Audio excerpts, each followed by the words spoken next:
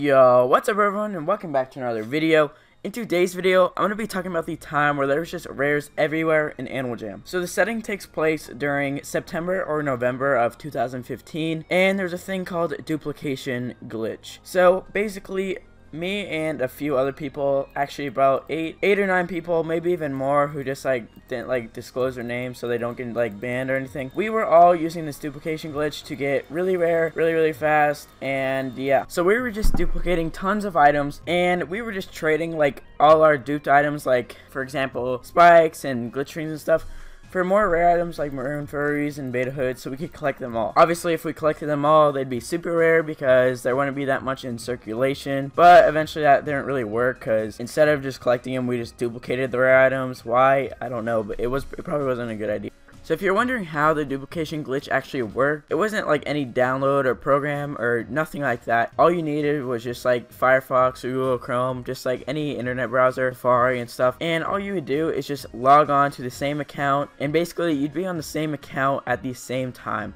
So essentially you have like doubled your items and from there you would trade them or send them over to like another account and then you trade them from both accounts and you'll just have double the items. I'm not going to explain the full way just in case like AJ didn't fix it yet, but that's just like kind of like the summary of how it happened. So as I said before, the duping actually got really out of hand because originally we just like wanted to dupe like without anyone finding out, but then soon Zarfy or King he told Aparri like if he wanted like to give him a bunch of items for a shout out or something on YouTube. And Aparri was a little bit suspicious after this because previously Zarfy didn't have any items at all because he just got hacked. And then randomly he's just offering Aparri like a large amount of items all of a sudden. And this definitely raised some suspicion, and then Aparri eventually figured out that we were duplicating, and then from there, more people figured out we were duplicating, and then it was just like a big mess, and everyone was angry, but it should have never really got that out of hand in the first place, because we were only like going to duplicate like glitch rings and spikes and beta hoods and other rare stuff, but we never like intended to duplicate the really rare stuff. But then we were all in a person called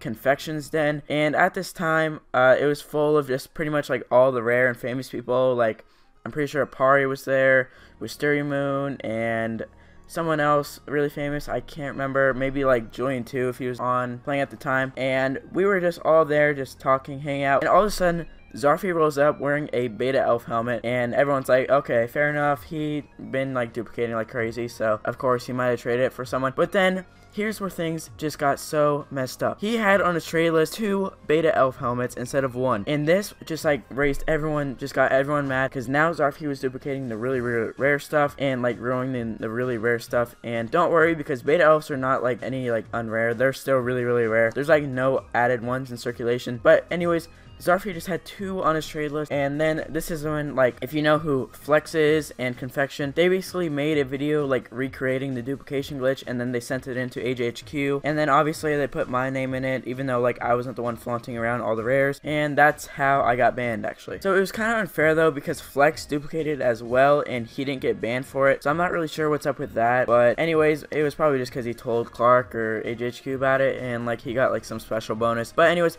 thanks for watching, everyone. Hope you guys enjoyed this video. If you did, leave a like, comment, and subscribe for more daily videos, and I'll see you in my next video. Peace out.